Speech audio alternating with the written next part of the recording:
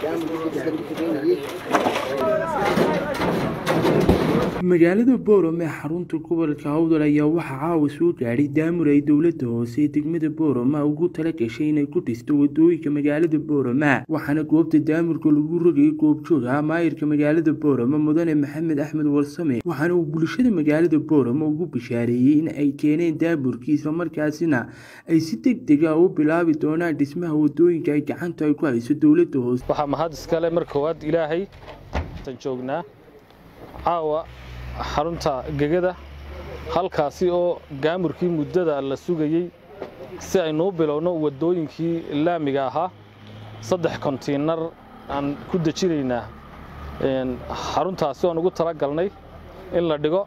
Marka waxaan ilaahay uga mahadnaqaynaa hawshaasoo ahayd hawl muhiimaddeeda leh waayo dhibaatooyinka aynu doonayno inaynu wax ka qabanno waxaa kow ka ah waddooyinka magaalada ee burbursan iyo nadaafadda kaasi oo ka galo deegaan ahaan anigoo afkii golaha deegaanka ku hadlaya aan muhiimad gaara siinayno sidii loo heli lahaa waddooyin wanaagsan oo bilicda magaalada qayb ka qaata isku socodka fududeeya. Waxaa jira culays maalmihii dambeba jiray dalka oo saddexdii bilood u dambeeyey gaamurla'aan baa jirtay. Waddooyinku waxay u taagnaayeen gaamurla'aan marka maanta waxaa ilaahay mahadiya in gaamurkii qaybtii ugu horraysay ayna soo gaadhay caawa. Marka waddooyinkii xidhnaa si aynuu dadejinno annagoo muhiimad gaara siinayna in la helo gaamur si waddooyinkii inoogu furmaan oo sixmaddii magaalada ka taagnayd ay u furanto. Ayaa waxaan korbeer ku soo maray xarunta lagu dejinayo. Markaa mar labaad waxaan ummadda ugu baaqayaa in waddooyinkii aynu ka shaqaynayna ay halkooda ka socon doonaan in kuwa googo'anna la buuxin doono kuwii aynu dhisaynayna ay si dardar leh u bilaabmi doonaan. Labada shirkadood ee almabaani iyo samatar ee labada waddo ee tadhambuug tegaysa iyo tii santarka magaalada dhisaya ee labada kilomitir iyo labada boqolee mitir waday waxaan leeyahay. Maadaama gaamurkii noo yimiday aynu waddooyinkii garaacnayntoodii badnayd waxaan farayaa in sida ugu dhaqso badan ay hawshaa u dedejiyaan. Bulshadana waxaan ka codsanaynaa inay u dul qaataan mar hadday shaqa timaaddo shaqadu wakhti bay qaadanaysaa. Culayskeegana way leedahay. Waxaan rajaynaynaa in si dhaqsa ay noogu dhammaadaan. Sixmadduna ay ka yaraato.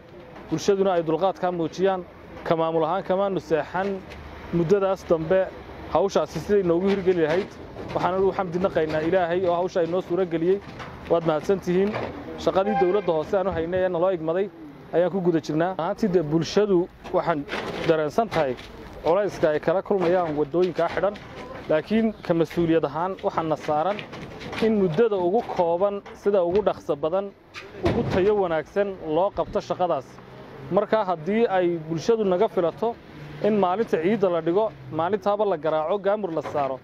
Dee waa waxaan suuro gelayn oo ilmuhu marka uu dhasho waa la tababaraa mud buu qaataa marka dambe u ordaa.